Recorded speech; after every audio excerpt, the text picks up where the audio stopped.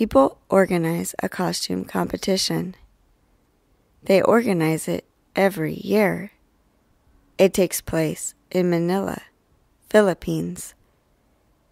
70 pets take part in the competition.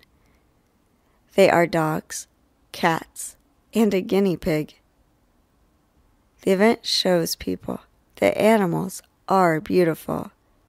The organizers hope that people will like animals. They will help them and not hurt them.